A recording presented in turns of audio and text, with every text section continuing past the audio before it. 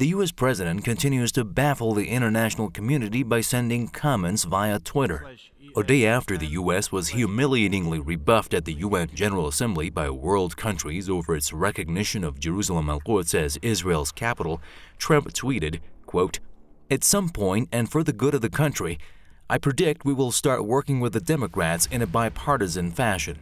Infrastructure would be a perfect place to start. After having foolishly spent $7 trillion in the Middle East, it is time to start rebuilding our country. Unquote.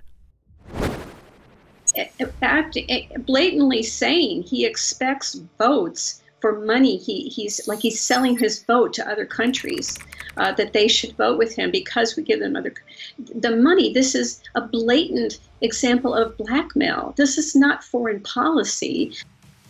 Trump had warned before the UN vote that the U.S. would punish recipients of foreign aid voting against the Al-Quds move.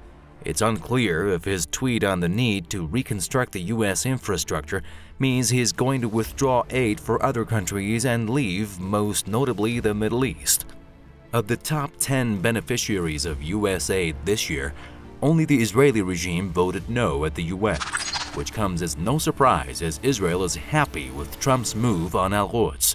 Many believe the more the U.S. distances itself from the countries it is threatening, the more isolated America will become, and this will instead benefit Russia, which quickly refills the gap left by the United States in various parts of the world. I don't think it, has anything to do with withdrawing from the Middle East. I think he, in, in fact, he has increased, asked for a 10% increase in our defense budget immediately after he took office. Um, and, and, in fact, Congress uh, gave him more than he asked for. So our, our defense budget is going to go up to $700 billion a year.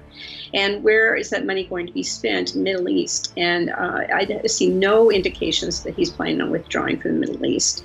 I think he's full of bravado and um, foolishness. Uh, I don't think you can believe much of anything that Donald Trump says. He believes that he can conduct foreign policy 140 characters at a time through a tweet, which is just um, it, it's absurd. It really is.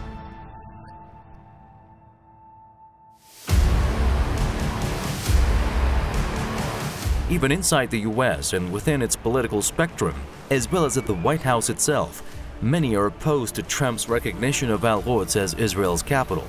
Opponents at the White House are said to be avoiding making their views known for fear of retribution by the revengeful President of the United States.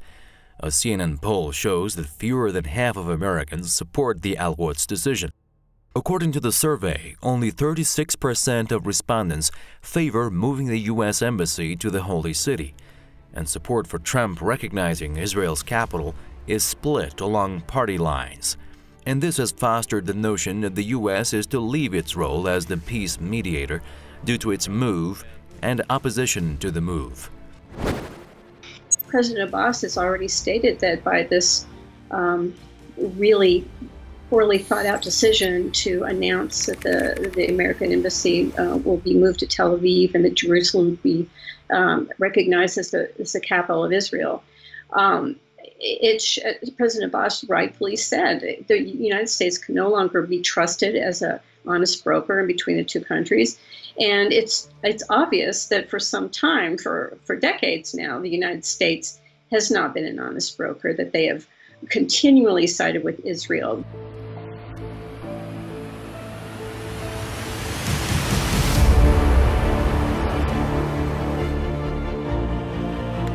Israel, which is overjoyed with Trump over his unbridled support for Tel Aviv, has intensified its crackdown on Palestinians over the past days. Israeli forces have killed a number of Palestinians in Gaza and injured hundreds more during angry protests against the U.S. and Israel in the Palestinian territories. The U.S. recognition of Al-Quds is seen by many as an irreversible move given the damage it caused to the so-called two-state solution to the Palestinian issue. Nearly all Palestinians mistrust America and firmly believe Washington is not, was not, and will not be impartial when it comes to the Middle East. Trump's move on Al-Quds persuaded the Palestinians and the Muslim world that the U.S. can no longer be called a peace broker.